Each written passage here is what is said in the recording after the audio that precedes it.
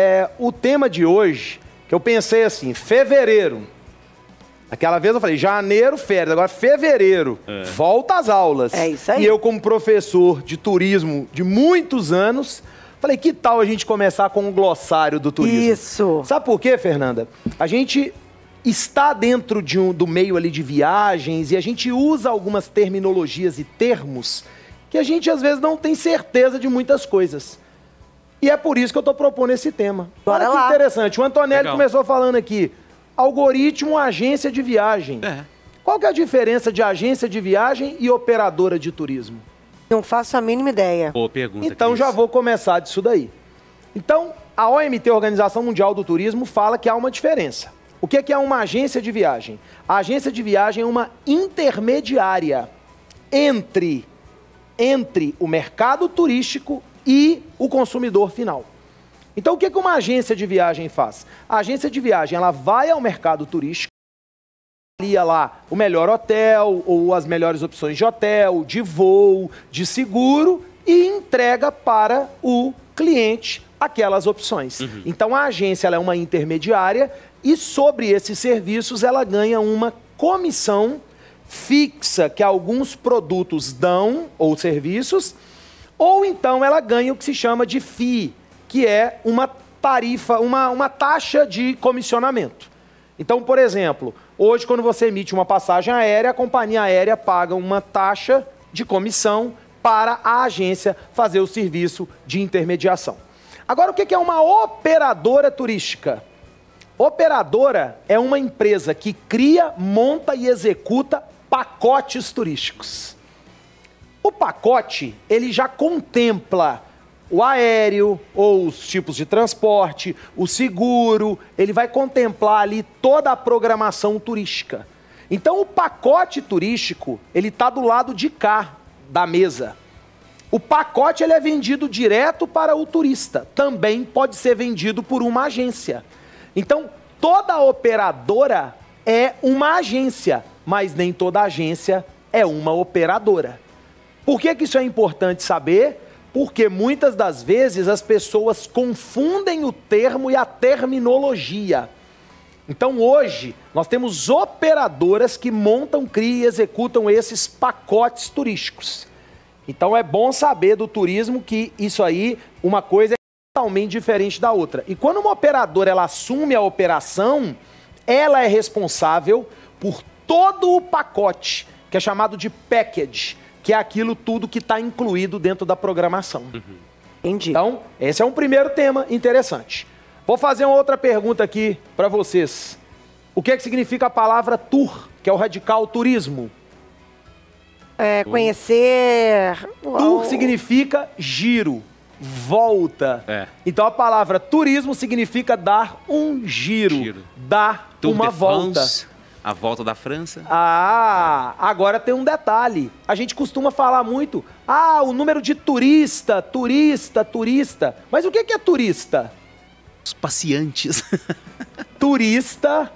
Olha só, São o termo, circulantes. O termo turista, ele tem também uma nomenclatura específica, porque turista é a pessoa que sai da sua residência fixa, ou habitual, ou permanente, vai para um ou mais lugares e retorna ao seu ponto de origem e, atenção, permanece mais de 24 horas e ou efetua pernoite. Tem que ter mais de 24 horas. Ou e ou efetuar pernoite. Praticamente a vida do Antonélio hoje na 98. Na 98, Ele é um então- turista, porque ele sai da casa dele, só turista Deus sabe de casa. manhã. Ah. Ele é um turista. Não. Olha só, atenção, é por isso que é importante, gente. Olha como é que a terminologia ela é legal, né, Fernanda? a gente é discutir. sim. Porque veja bem, você saiu daqui, foi para Ouro Preto, foi para Inhotim, foi para Cordisburgo, passou o dia e Bate e voltou. volta, né? Você não é turista. Uai, Você não é considerado turista, porque você não ficou 24 horas É verdade. e não pernoitou. Você é considerado excursionista Ah. ou visitante. O turista obrigatoriamente Gente, que divertido tem que isso, Cris. Eu não sabia disso, é, não. então quando muitas pesquisas, às vezes, que as pessoas fazem, número de turistas que visitam Ouro Preto, será que realmente é turista ou é excursionista? Se você colocar visitante, tá certo, tá ok. Agora, o turista, ele fica mais tempo ou pernoita. Então, presume-se que ele vai gastar mais dinheiro, vai movimentar mais a economia. Entendi. Garoto. Olha, eu não sabia disso, dessa Mais diferença, uma não. para a Mais comunidade uma. radioquestense. É. Mais uma para a Essa comunidade. Aqui, essa daqui é ótima. Qual que é a diferença de guia de turismo e guia turístico? Ai, não sei. E aí, Fernando? Não, aí não faz a mínima ideia. Tá vendo? Guia de- Antonelli tá guia- com a de cara assim, turismo? gente, o que que tá acontecendo? Não. Eu acho, que, eu acho que ele tá pesquisando ali na internet Não tô não, tô escondido. aqui, tô aqui, ó, Você tá com uma cara aqui. que tá querendo que tá pesquisando escondido, Tô tentando Antonélio. buscar alguma informação aqui. Olha só, guia turístico Ah. é o livro. ah, Guia Turístico de Belo Horizonte. É o livro que você pesquisa as informações do turismo. Guia Turístico de Nova York, Guia Turístico de Paris, Guia Turístico de Nova Lima. Uhum. Guia Turístico. o livrinho que você comprou ali. O guia, É. ou que comprou, ou que ganhou. Sim. Guia de Turismo. É o cara que vai te. Ah, é o profissional gente. que vai te conduzir numa trilha, num roteiro. Aliás, é a única profissão regulamentada dentro do turismo. O guia de turismo ele tem uma carteira, é só ele que pode exercer aquela função. Então, em toda viagem de grupo, quando você tem um, um trabalho de grupo, obrigatoriamente você tem que contratar um guia de de turismo. turismo De turismo. e Quase não saiu guia turístico. É muito comum você estar vendo ali na televisão, no jornal, as pessoas o guia turístico vai falar. Não, o guia de turismo, o guia turístico não fala. Quem fala é só o guia de turismo. O guia turístico é o livro. Será que ele fica ofendido se eu chamar o cara de guia turístico? Não, guia, não. A não ser que ele fala assim, você tá achando que eu sou enciclopédia. Você sabe tudo. É, outra palavra no turismo que é muito usada, VIP. O que, que significa VIP? A very important person. Isso! Muito bem, Antonélio. Very important person ou very important people. É a pessoa muito importante que tem que ser tratada de uma outra maneira. Por isso que é cunhado para essa pessoa o termo VIP. Agora você vai ficar num apartamento e aí você reserva um quarto duplo.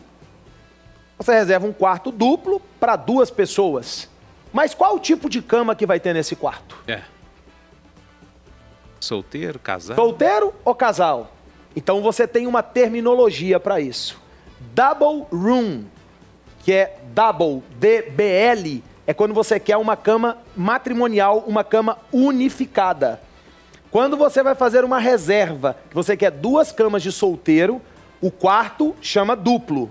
Mas aí você tem uma denominação que se chama twin room, que é um quarto duplo com duas camas de solteiro.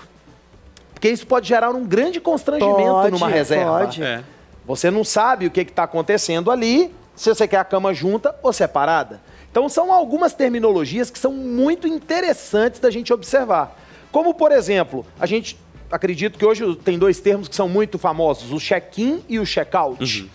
O check-in significa os procedimentos de entrada, de você fazer uma abertura ali de um cadastro numa companhia aérea, de um voo. O check-out é a saída, é o momento da finalização. Mas às vezes você chegou antes do horário do check-in. Você chega, o check-in é duas horas da tarde, meio-dia você está no hotel. Você pode solicitar um early check-in. Uma antecipação, Antecipação. do seu check-in. Se você solicitar de forma antecipada, muitas das vezes é sem custo. Legal. Se o quarto estiver pronto, Se o quarto estiver pronto, Quase nunca tá. te liberam. Quase nunca tá. você nunca tá. Mas você Quase também tá. pode um dia ter que ficar até um pouquinho mais tarde, uma hora ou duas horas até depois. Você pode solicitar um Late, late checkout. checkout, Aí, garota. que é você pedir a permissão para ficar uma, duas horinhas depois Ô, Cris, desse só um adendo tempo. aqui. Eu, eu tenho uma curiosidade. Esse horário de check-out e de check-in, ele é padrão no mundo inteiro ou cada hotel? Porque, assim, geralmente é isso. Ou é meio-dia ou é duas horas da tarde, É. né? É. Pra entrar ou pra sair. Isso, não é padronizado. Os hotéis, eles podem definir, inclusive a diária. Muitas pessoas pensam, diária, é, é lógico, é 24 horas. Não é. Tem hotel que você tem check-out 10 da manhã ou 11 e o check-in às vezes é duas horas da tarde. Nos Estados Unidos é muito comum os hotéis o check-in ser às 15 horas. Então não necessariamente seja 24 horas. Então não tem essa esse Essa é a horário. regra.